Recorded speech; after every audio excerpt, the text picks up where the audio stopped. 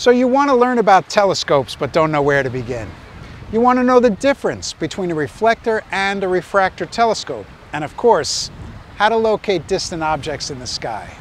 Well, Carson Optical has created a video series to educate astronomy enthusiasts on how to set up, operate, and maintain your telescope. Carson Optical has you covered. Explore the stars, my friends.